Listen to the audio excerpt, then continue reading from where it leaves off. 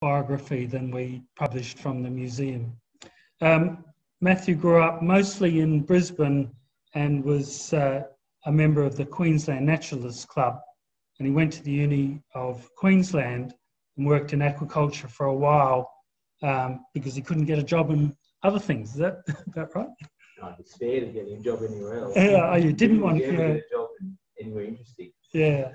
Um, so he was volunteering in the Queensland Museum in entomology and then got a research assistant job in spiders. And uh, that was his first museum job, and his interest in mites started when he was working at the museum helping prepare a rare owl which had died mysteriously, and he found a large paralysis tick on its neck.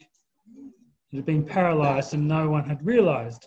And that was the early realisation of the complexity of interaction between creatures both large and small. And in my um, conversation with Matthew, as I do, I like to have a bit of an anecdote. And he said that one gravid female kangaroo tick uh, that he kept uh, was fascinating to watch her slowly lay her clutch of eggs and then the 2,000 eggs develop and then hatch. But then you have 2,000 plus tick larvae all looking for the nearest warm mammal for, to bite. He kept the lid on the container. So thank you very much for coming, Matthew, and uh, welcome.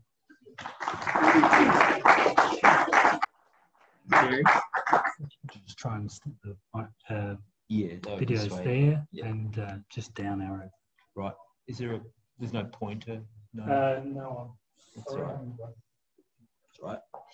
Um, thanks everyone for coming. Thanks for your interest. Um, uh, mites aren't something that most people think about, but I know you people are very interested in nature, so I'll try my best to interest you in them. Um, they're just beyond our normal perception. They're, they're, most mites are about half a millimetre long, about that, um, which is just a little bit too small to see normally. But just about any mite I'm talking about if I had a, a, sheet of white paper and you had a good desk light on it, you would see the little speck crawling across it. And you could actually see some detail in many cases. Um, and with just a hand lens or modest magnification, you'd actually see quite a lot um, and really be able to tell what it was and appreciate it more. But it's, it is amazing how many mites are around us and escape our attention. And every time we walk across a lawn, we're actually walking across um, hundreds, if not thousands, of mites. Um, they're just um, that's a bit too small. Uh, and contrary to popular belief, most mites are actually really good and more than just harmless, actually good. I wanted to talk about, as a provocation perhaps, just why we don't think about small animals. And I think part of the reason is historical. So if we go back to the very early uh, thinking about um, in Europe um, about what scientists, etc., what European culture was excited by, and what got Europeans extremely excited was the rhinoceros. This is an extremely famous image uh, by one of the most famous draftspeople of all, Albert Dürer. Um, and this drawing made him famous in 1515, among other things, his other work, of course, too. But I hate this picture. I really dislike it because even though it's very uh, striking, it's actually inaccurate. Um, this is well known, but this is not what a rhinoceros looks like. And it's, it's, it, to me, it's like people craving so much the big and the exotic and something really striking that they would even tolerate something that is inaccurate, it has extra horns on its neck, has extra plates that aren't really there. It's much more heavily armored than even an Indian or Javan or an rhinoceros would be. Um, it's, it's actually not science in a way. It's, it's just um, a satisfying appetite for exoticism. But another image that Albert Dürer did 12 years earlier than that, to me, is a very beautiful painting because it invites us to look at something very humble and beneath our feet. And, um, uh, and even though it's not showing any mites or insects or anything like that, it's, it's called um, a piece of turf. And it's just is just what sustains us, especially for a culture that depends on pastoralism, uh, or at least used to a lot. Um, it, you know, it, there's a lot there. There's a lot of nature there. There's a lot for any naturalist to study. Um, and it is, astounds me, 500 years on, how little we actually know. So that um, that's that's how I'd like to start talking about it, um, and just say that there's historic. It's not just us. It's not just us now. It's been a long time that people have ignored it. Even though in 1600s we had microscopes and there was a lot of excitement at various times, they still don't know very much. But what um, what we're walking over when we walk on the ground is things like this is an Oribatid mite. Oribatid mites are one of the uh, very diverse groups of mites, 172 families. 9,000 species are described at least, but it's actually far, far more than that that exist. Um, in uh, the few places that have actually been estimated, the diversity, like um, some places in the United States, there's 160 species of oribatids in one national park. Um, but there's probably lots of places where you could get more oribatids than that. Um, what they do is they break down vegetable matter and return nutrients to soil. They're a very important component of um, uh, providing nutrition to plants. Um, one of the most diverse groups in soil, and you know, soil is called the poor person's rainforest. It's it's there's a lot of diversity there. Um, but even amongst that diverse company, Oribatid mites are one of the most diverse of all. Um, I'm actually not going to talk much about them today because what I thought I would do is really focus on things that mites you might have seen and then expand your knowledge from there or try and introduce you to things that um, uh, that you're already familiar with and find their relatives. Um, but I'll just I'll just talk about a few other examples of uh, great diversity in mites. So here's a Passalid beetle. Um, beetles are found various places in Australia. I found out recently they were, at least, maybe they still are, in Renmark. If anyone collects Passalid beetles in South Australia, I'm very interested to know about it, particularly because they have so many mites on them. In fact, they have uh, my colleague who has studied this a lot. Uh, there were 27 families. He's just found another one. Um, and some of these families only occur on Passalid beetles. So um, highly diverse communities um, on these beetles um, and mostly harmless. Uh, just looking at the big picture overall, there's um, maybe crustacean people would argue with me. Um, I'm not sure. As far as I'm aware, mites are the second most diverse group in the world. Um, the estimate, and it's not a uh, outrageous estimate, is um, half a million species, and the estimate for Australia is 70,000 species, and that's not um, that's reasonably conservative, I think. Um, and it's really to do why there's so many is hmm, it's a big question why. I just asked it didn't i? Um, why did i do that? Um, it's uh, it's to do with using many different microhabitats is probably uh, one of the main reasons why there's so many mites.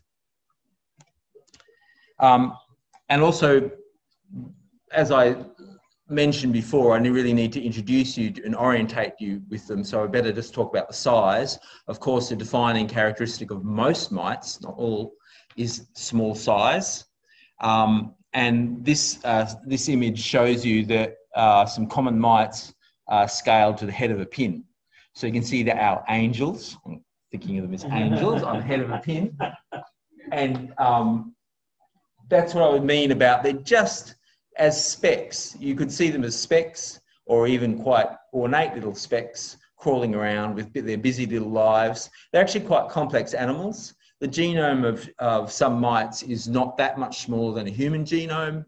Um, they have nervous systems, they have breathing systems, they have uh, lots of things. So there is some simplification. Anything that becomes miniaturized does have um, uh, loses some bodily system. So, for instance, some mites um, uh, don't have um, extensor muscles for legs. Uh, lots of mites do, but some have lost them. They use hydraulic pressure instead. Um, but and sometimes the breathing systems are a bit um, uh, how should I say simplified, but um, they are still complex animals with complex behaviour. Um, it's just that they uh, are small, and um, because this is the butterfly conservation group, um, uh, I'll mention Asher Treat, who's got the uh, quote there, um, and he wrote a whole book on mites and moths and butterflies, and it's full of wonderful writing and wonderful quotes. Um, uh, and I'll tell you a little bit about some one thing he discovered later. I'll also mention, um, because we're in South Australia, particularly one group called the Ologamasidae. When I sample from leaf litter, I am sampling um, massive amounts of oribatid mites, but also massive numbers of ologamasid mites, which are predators. Um, these are arguably the most common micro predators throughout the southern hemisphere. So there's lots and lots in particularly wet soils, forest soils, um, Mount Lofty, etc there's lots and lots of ologamasids. And David Lee, who was a curator at uh, South Australian Museum, was an expert in this group. Um, and he's just um, uh, a lot of what we know about ologamasids in the world was started by his studies. Um, there's two common genera I've put up there. Um, and it's amazing, you know, go to a place like Scotts Creek and I find one thing quite similar to that top one there, possibly in the same genus and I find something similar, just slightly smaller, and then I find another one, and there's three, probably three undescribed species, 95% undescribed, and and uh, yeah, there's a lot to describe, uh, but, and um, they're very diverse. Um, so for the rest of the talk, I'm going to ignore lots of mites because it's way too much to talk about. It'd be like trying to talk all about all of all insects. So I can't do that, and um, you'll fall asleep. But um, I'll just start with some familiar ones and then introduce you to their relatives as a way of uh, introducing some broader groups. So um, thinking about what do people know about, I had to think of ticks. Um, so that's what a tick sticks into you. That's a paralysis tick. It has a particularly long sticking in thing called the hypostome. It's pretty nasty. Um, that's to embed itself in the wound so you can't easily dislodge it. It's like a Phoenician battering ram. It doesn't, it can't, it doesn't move in and out or anything. There are other um, organs, cutting digits on the other side of that, um, that barbed prong, but the barbed prong itself is rigid. That just sticks into the wound. Whoops. And there's a kangaroo tick that a very clever photographer managed to photograph while I was on his arm. Steady hand, one hand. Um, and true dedication, not pulling it out. Get the, get the photo first.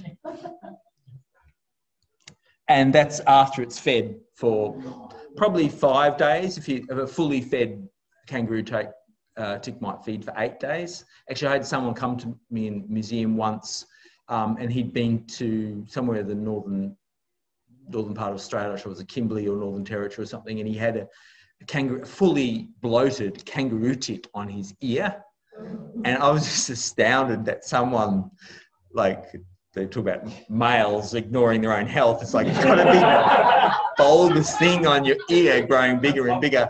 Don't you go to the doctor? He doesn't want to interfere with his holiday. Anyway, he realised it was a didn't he realised it was a tick. He didn't know it was a tick until until he got home. He didn't know what it was. And, um, but anyway, so they get quite big. Um, and the reason they get big is they're concentrating a blood meal, and this is a kangaroo tick she takes her ages. it's one of the signs I think that can, that ticks are actually a very ancient mite group.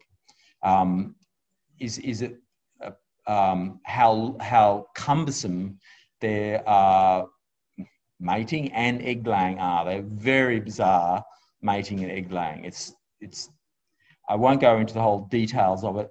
I'll just tell you things like they they protrude these little wax organs and they individually coat each egg as it comes out of be from um, their genital organ. They bend down, get pick up each egg, and then coat it with wax and drop it. And they do it two thousand times, and then they get a mass of eggs. It takes a whole week to lay a batch of eggs, so it's very slow. The the, the mother dies exhausted um, after doing that, not surprisingly. Um, but um, and so those hard ticks are the most familiar ticks, I think, kangaroo ticks, and because they're related to ones that get on dogs and cows and stuff like that. But then there's uh, soft ticks, um, very common on seabirds. That's some I rinsed off one poor chick there. Um, I wanted to mention soft ticks because um, they're very important. Well, to me, they're very interesting in South Australia because they're, they're extremely good at uh, handling um, dry conditions in the desert. And there's actually several species that were collected in the 60s and described in the 60s and never been collected since. So places like the Nullarbor have great biological interest to people like me because I want to ferret around in nests and get um, things like this. Although this one is actually on chooks and egrets and, th- and herons and things like that. Pardon? What's the scale of that? Ah, okay, that one's a millimeter. Thanks, Jerry, because what I should say is if you see any little white lines on the, the pictures, there's some of the pictures have it, and it's just a white line, it'll be one tenth of a millimeter. So that's the scale usually. This is a bit bigger, being a tick. Is an undescribed tick. Well, actually, I think it's undescribed tick from um, brush-tailed possum. Um, astounding that really common animals we don't know their uh, parasite faunas. Um, and so ticks are familiar to you. What you might not be so familiar with is um, a, a, related group called the holothyrids. And in Australia, there's a family of holothyrids called the Allothyridae. There's only one um, holothyrid described from all of Australia. It's from Waterfall Gully. But um, they're not parasitic. They, they roam around the forest floor, um, Mylor, uh, quite a few wet places around um, Adelaide, you can find them. Um, uh, I think there's a few undescribed species, not that I've had a chance to really look at them. And one of the reasons I think that is because that one there, with the white background, is five millimeters long. It's quite big. Um, it's, I think it's quite different to the, the other um, species it's described. And there's lots of species all around the East Coast and New Zealand, and they're just basically all undescribed, um, despite their importance in understanding a really important group, um, ticks, which are, are, obviously very important for disease and the economy. Um, so that's ticks and uh, are, um, uh, one clade, you could say, the related group. Um, very ancient lineage. Um, there's still a lot we don't know about them, especially things like soft ticks and the um. Another group of um, mites uh, you would have come across, I think, are red velvet mites. So uh, right now, um, around um, quite a few months of the year, but particularly the wet months around uh, here, um, in the leaf litter, there would be uh, various things related to red velvet mites crawling around the leaf litter. Um, there's a lot of them, and what we know about uh, this group of mites um, has a lot to do with uh, Ron Southcott at the South Australian Museum. He had a, um, he often uh, looked at moths and butterflies, uh, particularly moths, and collected various uh, things that feed on moths in this group um, and his collection is in the South Australian Museum, and there's masses of notes, like literally a, a, a field notes from here to here in bound volumes. Um, and it's actually quite a resource for anyone who wanted to get interested in, in this sort of thing. Um, the the um, uh, red velvet mites. There's a spotty one there, and the, and the big fluffy red one up there. Um, and then there's these other ones which are called erythraeid mites, which are in a different superfamily actually, but um, they're actually the ones, those long-legged ones. They're the uh, ones you'll often see around um, Adelaide, I think. Um, particularly that one at the bottom, things like related to that, uh, rainbowia. The thing up the top, um, the spots on it, um, uh, white stripes and spots on it. That's uh, something I'll tell you about uh, uh, in a moment. I'll first tell you about this. So um, this is described by Southcott. This is a, a common um, a relative of red velvet mites that feeds on Lepidoptera eggs. Uh, this particular one was that wouldn't distress people normally, but when it's feeding on endangered Richmond birdwing butterflies, people were getting quite distressed about it. And it's like, no, protect the valuable mite. no, no, no. Um, this, this is actually quite voracious uh, predator of um, Lepidoptera eggs, and um, that's that's the food plant of Richmond birdwing um, butterfly in uh, southeast Queensland, and uh, the the thing that's feeding on the egg there is a nymph, and then it gets even bigger, and uh, these are fairly big eggs. This is a big butterfly's egg, um, and then it even eat, eats more eggs when it's that size. But in fact, it's it's possibly even worse than that if you really care about insects because, oh, didn't I put the picture in? Oh, there we go. So there's, that's not a, um, this, this, this is a different species, um, but this, they all start, this whole group, all of them, thousands of species actually, um, all feed as, par as parasites.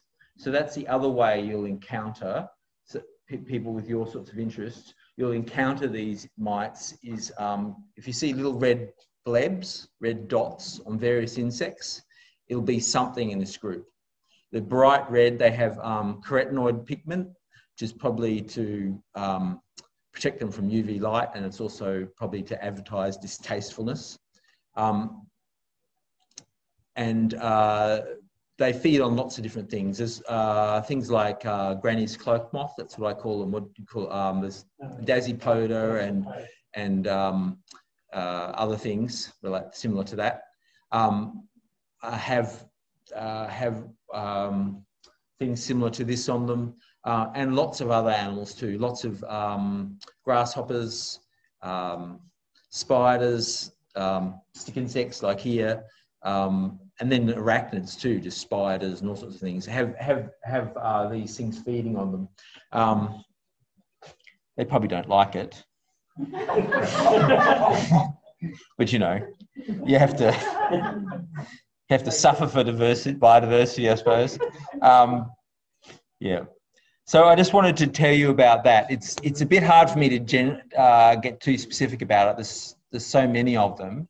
Uh, two main superfamilies, there's actually more than that, but uh, two main superfamilies um, and many, many species. Um, but that, that's the, the interesting thing about it is that all of them are parasitic as larvae.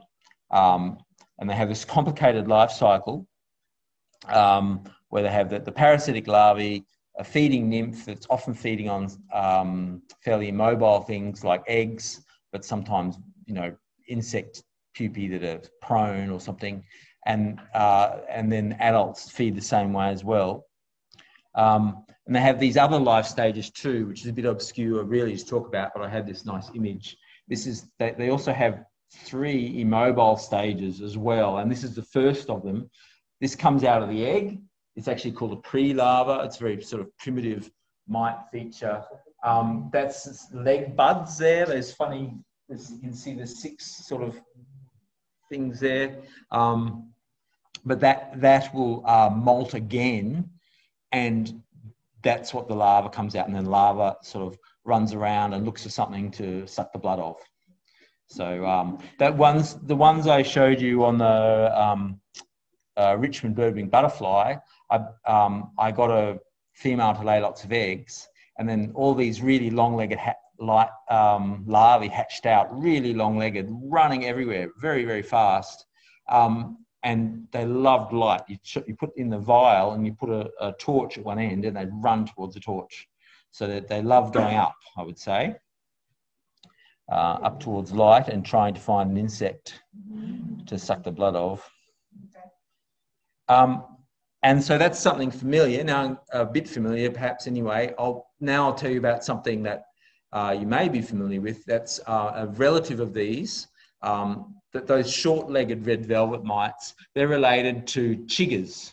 So chiggers bite vertebrates, including us. Um, and uh, if you go, for instance, to Robe or um, anywhere in the swamps around there, you might get a scrub itch um, scrub itch from chiggers biting you. Um, so that's one local place you could, um, uh, instead of biting rats, they might bite you. Um, but there's lots of different chiggers, lots on reptiles. So yeah, I'll take questions anytime because our oh, chiggers is C H I double G E R. Yeah. Sorry for throwing jargon at you. Um, Yeah, so um, and here's here's a so uh, chiggers don't get seen that often, and people should possibly be glad of that. Um, they can transmit diseases, and um, they're not in that 99% of good mites. They're actually in the smaller percentage of um, mites you don't want to encounter very much. But this is a very specialised one that I'm showing you here now. This is one that um, has only ever been recorded on um, mainly eclectus parrots in Papua New Guinea and Northern Australia, um, and in uh, sulfur-crested cockatoo nests in uh, Iron Range. Um, and the interesting thing is, it gets onto those birds. Not only that, when it, it has that same lifestyle where the, the, the larvae are parasitic, just like all those relatives I talked about, and then the, the um, nymphs and the adult stages are predatory, but they're, they're very specialized though. They only live in the parrot nests. And there's similar things on reptiles too. Hi. So is, the, is it, they're spatially separated, species specific where they are, does that give us some indication of how the move out Oh, we don't have anywhere near enough information. Yeah, it's just that it's just like it was initially described in 1939 um, which is an interesting time to be in Papua New Guinea given what was happening. Um, uh, and then I managed to, uh, with other people's help, they collected it for me in um, Cape York. That's the only time it's ever been collected. So um, it's pretty specialised. You have to actually, you know, trap, they collect as parrots and part their feathers and look for the things, or you have to go, have to climb a, a very high tree and get the substrate out of a tree hollow nest, which is what people did for me. Um, and that's the only, so it's not surprising it's hardly ever been looked at. But I would guess actually that it's, it's um, habitat specific. So it's, so it is on also on sulfur crested cockatoos in Iron Range. So there, there's a bit of sharing of nest hollows. And I'll actually talk a bit about that in a, a little while um, if I don't run out of time I'm probably what is the time? Okay, thanks, Jerry. Um, so, uh, talking about other familiar things, um, I can't really, I should mention Varroa. So, um, Varroa is a highly specialized mite. Um, it uh, is on, was originally only on Asian honeybee, along with other related mites um, on Asian honeybee. There's actually a whole fauna of mites. We only tend to hear about the ones that become a really big problem, but there's actually a whole lot of things that live together. And as someone, if anyone needs to understand what's going on, you actually have to identify the, the not so um, harmful ones as well, because uh, that becomes a question if you're trying to figure out what's harmful and what's not. You have to know what the other things are too. But uh, Varroa has come to attention in the last few decades. Um, and to me, it's a bit like um, uh, when black rats first came to Europe and brought the plague in, because we had the mixing of Asian honeybees and European honeybees for the first time, it would seem, um, and that meant there was a transfer of parasites these two closely related hosts. Um, and Asian honeybees could cope with Varroa, but not the European honeybee. Um, and it's not just Varroa, there's things related to Varroa and uh, that are also concerned, another thing called Tropilaelaps. Um, one thing I'd like to point out is, um, this is me being a mite scientist and whinging about not enough um, research going on, but it's, it's actually worth observing that Varroa does not have a stable family placement. No one can really tell you what its relatives are or uh, what family it's in because the family it's given at the moment is not correct. But, um, it would only happen in mites. Um, but I'll tell you about some of the relationships with Varroa that I've that I believe from my uh, morphological research. Um, before I do that, I'll just tell you about the group it's in. It's in a group, a superfamily called Dermanyssoidea, um, and it's incredibly diverse in its habits. So sometimes they look boring, they don't do many interesting things, but in terms of their habits, they do so many different things. There's lots of different ones in soil, um, lots of different ones on insects, many different sorts of insects, on millipedes, scorpions, spiders, um, mammals, birds, reptiles. Um, it's really no fish. no fish. no fish. No, they they they're not that aquatic. Yeah, yeah. So no, that's no, no, they're not. That'd be about They- they should- things on God's green earth that wouldn't be eligible for mice attack. Yeah. Well, and there's one superfamily of mites. Um, there's other. Most things get attacked by mites of one sort, especially terrestrial organisms.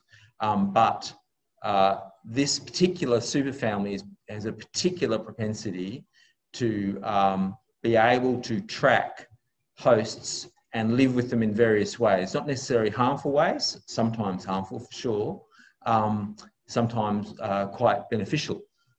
Um, the things I'm showing you up there now, there's an ant mite, there's a, uh, possum mite, a bat wing mite that only lives on bat wings, um, and that thing that's on the, the fly, that's a bat fly. So it's actually something that feeds on the blood of bats, but it can chew, carry around on bats, but sometimes it'll, if it wants an extra uh, lift, it'll hitch on the bat, bat fly. So it's, it's got two uh, suites of host preferences in its repertoire. It can choose to go on either.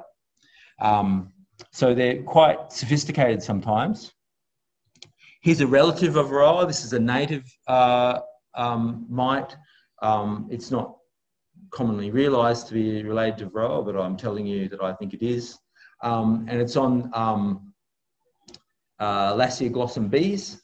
So the larger uh, bees that uh, have uh, burrow nests have, have this lovely mite on them. It seems to be harmless. Its, its mouth parts don't look like it could be parasitic. Um, here's another harmless thing, another relative of, of, of Varroa. Doesn't look anything like it, but there's subtle differences in its um, subtle uh, characteristics of its uh, leg hairs and stuff that tell me that it's a relative. Um, and it just feeds on pollen, so harmless to bees. Um, but what's really interesting is the way something that can be so harmless or even beneficial can evolve. It's, it, it has relatives that can evolve to parasitism, in, including highly pathogenic parasitism. Um, so all the possibilities there, very dynamic systems, I think. Um, but now we move past Hymenoptera. I was telling you about things that are all somewhat related. Here's a thing that's um, quite interesting in South Australia is this, um, this mite that lives on trapdoor spiders. It um, is often found in a little groove on the top of the carapace called the fovea. But what's interesting is we've um, we observed it once a few years ago, Queensland Museum, that we got on the, the male palps and they're all clustered there. And that was so surprising. And it's like, that can't be accidental. What are they doing there? And I've asked people to look out for it. And since then, we keep finding it, and particularly with um, some of the uh, armored trapdoors uh, local armoured trapdoors. It's a regular thing where they, they're on the, the male palps. Now, the male palps in spiders are used for mating. So what this seems to be is it seems to be a sexually transmitted disease, or I don't know if a disease is the right word, but like they're probably just a harmless symbiont, but it's sexually transmitted, I would suggest, mm. simply just because why else are they clustering on the palps? It's to transfer for dispersal, I think. sort of crabs spiders. Yes, yes, exactly. Yes, but nice crabs. Nice crab that you want to pat. We think, we don't know. We'll have to ask the spiders what they think of it. They have all problems, but obviously, you know, Yeah. So, and this is a really bizarre creature that uh, was only described last year. It was, sorry, that's not quite true. It was described 135 years ago. Um, and then 20 years after that, it was um, people were talking about it and comparing it with Varroa. And it's just amazing how little attention was paid to Varroa um, until recently. But if people had sort of paid attention, um, Varroa wouldn't have been forgotten about. This wouldn't have been forgotten about. Um, but anyway, this this amazing mite uh, occurs. Um, we now know on the wings of raspy crickets and sometimes in the spiracles. So raspy crickets, they're very fierce-looking crickets that you'll get in the um, woodlands around here. Um, uh, don't let them bite you. They're really quite uh, fierce biters. Um, quite impressive uh, little orthopterans all by themselves, but they have a lot of mites on them. Um, this complicated diagram I won't go into because there's actually another mite here that actually sometimes parasitizes the one on the wings. Just, to, just it's a hyperparasite. Uh, it's quite it's quite complicated, but uh, Burlesia um, is, is, is on these um, certain raspy crickets. It is in South Australia. I haven't managed to recollect it. There's one collected from 1948 from a grasshopper in a swimming pool in Adelaide. Grasshopper. I think it was a raspy cricket. Um, so I'm very interested to see raspy crickets from Adelaide. Um, there's probably more of these to be found. Um, and they're really bizarre. They actually, if we look look at the females, the females have uh, cutting digits that go like that. Now that's actually quite interesting. Most uh, things might have cutting digits that go like this. If you have very fine cutting digits in your parasite, you might go like this. But this goes sideways and it actually has complementary action where they can do use quite strong musculature and do really quite uh, strong cutting movements into uh, the cuticle of their host. Um, so you'll see that on here, the female on, on this side, on your left, has the digits cutting down.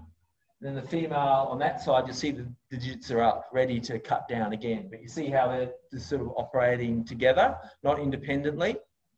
Um, that's actually quite like ticks. It's the only, it's the closest thing we know to tick feeding that's not actually a tick. That's the female. The male in the middle there, he doesn't feed at all. That's because his mouth parts have become as long as his entire body and they can't feed, they're just um, mating organs. He's got mating organs as long as his own body. And that's because he's very, very impatient. and the female, that female there, the white one, she's still in her nymphal skin. She hasn't emerged yet. So what he's doing is he's evolution has provided this thing where uh, the race to mate has meant they're, they're so impatient that the, the uh, males are trying to mate with her when she has, doesn't even have a genital opening. She's actually finding the genital opening beneath the nymphal skin. And the thing is still hasn't emerged. So this is, uh, we don't know of any other examples like this. So it's um, really uh, extraordinary sort of evolution. Um, I'm sure you wanted to know that. um, yeah. So this is out of order. This is a relative Varroa too. This is an ant mite. Um, probably harmless. lots of these. There's actually a thing where you get um, where you get multiple ant mites in this genus on one species of ant. You seem to get uh, size like Russian dolls, size stacking, and it's a like one point, like the square root of two relationship in the size. So one will be two thirds the size of the other one. Um, point. Yes, yeah, that's right. Oh, and I, I don't know how I'm going for time, but I just wanted to. Um, this is another really interesting thing that anyone interested in moths, I would like them to know about. So quite boring looking moths, um, things that are sometimes called army worms and things like that, various noctuids, um, some other families too. Um, in one ear, only one of their ears can have this mite. So this is a, um, a situation where this is a mite that goes into the ears of moths, um, not noctuid moths and some other moths have ears. Um, it goes into the ear and actually destroys the hearing in that ear. But the really interesting thing is it, they never go into the other ear. Once the first female colonizes, and others may colonize too and follow her, um, it may not be a single founding event, they won't, they, they will avoid, they won't make the, their host deaf. If the host gets deaf, then it could be eaten by a bat. The, the, the moths need to hear uh, to avoid bats. So it only makes it half deaf. Um, so some, some chance of everyone surviving. Um, this is actually um, one of the best instances in that I know of of uh, a, a well-known, well, a, a, an important theory in evolutionary biology called the intermediate virulence hypothesis. It's a common idea that everyone is familiar with that you know uh, a parasite logically shouldn't harm its host. Um, it's not it's, it's not off. There's not that much proof for it actually, uh, in except in cases like this. But you wouldn't be a successful parasite if you made a habit of harming the host to death. You could just become, it just You're just-? But you might have more than one host. You know, basically animals do whatever they can get away with. Um, like some humans, you know, it's just um, it's just survival. So um, Yeah. Think about. I mean, I've seen, I've seen ticks in lizards' ears. yes, yeah, And blue tongue, particularly, they're easy to find on blue tongues. They Mm. often have them in their ears and they have them behind their front necks. yeah. So places that are difficult to groom, yeah, and there's quite a few mites that get But there the too. idea of them being ears is just mind blowing. Yeah, well, that they're actually, I'd really love to get fresh specimens of those. Actually, um, I've trapped quite a few noctuids and not found them yet, but it's it shouldn't be too hard to get them because it's just um, How much magnification would you need to be able to see? the main thing is that the, the the moth ears are covered with lots of scales. That's the difficulty. I think I need to trap lots of boring looking moths, pull their wings off, and then pull lots of scales off to do it quickly and things that lepidopterists would hate. they hate me. So you're not a real entomologist. Um, okay, so I, I, I really have no idea about the time. Sorry, Jerry. Yeah, okay. Um, so another uh, local example I wanted to tell you about is um, I, I made the claim that Dermanyssoid might sort of live in more places than most uh, little creatures. Um, one group I'm quite interested in um, live in tree hollow nests. So this is pretty important for us understanding Australian fauna. Uh, this uh, mite is um, uh, related to things that are highly parasitic on lots of uh, possums and also um, carnivorous marsupials and stuff like that. But it also lives in parrot nests. Um, and it's, we don't know, it could be parasitic, it could be predatory, it could be actually be both. Um, but another really amazing thing is there's two, that's one genus, there's another genus with two species in it, and they can all co-occur in glossy black cockatoo nests on Kangaroo Island. So they're the same size, they look almost the same. You have to look at them quite carefully to realize that they're different genera and species. but they're all they're all doing different jobs. They're all part of. It just shows you how complex um, the natural world is, and I think it's very important for nest hygiene, um, for um, clearing out, um, particularly some introduced pests. Um, is to have predators like this. Here's another um, two species from the same genus and it just shows you uh, a bit of diversity here. The smaller mite there is um, highly parasitic whenever you find them, well, most of the time when you find them, they'll have fed on blood. It's very obviously parasitic. They're on carnivorous marsupials. The bigger one is a quite ferocious predator. I've kept them in culture and they avoid one another because they're like if you're a fierce predator, cannibalism is a problem. So they they they they will shuffle away from each other and hide away, um, and they probably do a lot of cleaning of um, in nests and um, keeping nests clean and um, of, of avoiding and um, stopping parasites from exploding in numbers. Um, and there's another one in the same group. Sugar gliders, this particular species. That's a parasite. But here's, here's an introduced one. This is a starling mite. This is another familiar thing you might have heard of um, or been bitten by. And I'm sorry to say, even though those other things I was showing are highly specialized, mites are so versatile, starling mites are highly generalized, not in their feeding habits, but in their um, host uh, habits.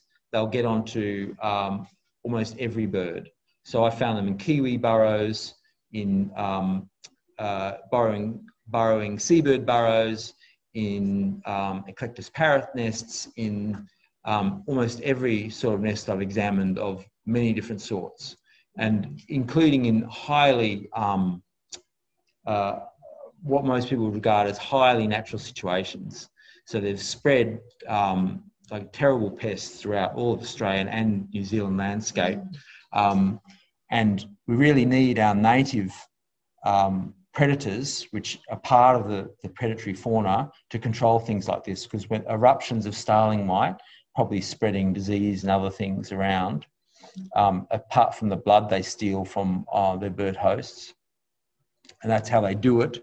There's um, their very fine specialized mouth parts with a groove down the um, side. They put them like that, two mouth parts together with a groove, and then they make a feeding stylet by putting them together. Um, who um, eats the mites? Um, so other mites, um, those larger mites like I talked about, but um, then things like pseudoscorpions, um, little beetles, there's quite a few little beetles. Um, a couple of families actually specialise on eating mites. Um, yeah, uh, tiny spiders. Um, yeah, I think that's part of a healthy uh, nest situation is, is, is a lot of different predators there. Yes. Don't. Uh, I'll tell you if you want. um, uh, yeah. what's, the, what's the story as far as um, would the would Australia's native birds, for example, um, would they have been happily resigned to their own mites and, and potentially more threatened by the way we've brought in different sorts of bird that have different sorts of mite that the local the local species, the indigenous species aren't accustomed to. I'm just wondering think, how much of a threat that sort of thing is. I mean, you're always hearing about zoonoses, you know, horrifying bacterial things, horrifying viral hmm. things, mm. but it seems to me that some of those, some of these mites could be pretty bad as well particularly the ones that drink blood? Well, I don't think we can answer it precisely. I'll just say in a general way, just having complex ecosystems, and you can see there's lots of components to this complexity. Well, we can't import the stuff we've imported. That's right.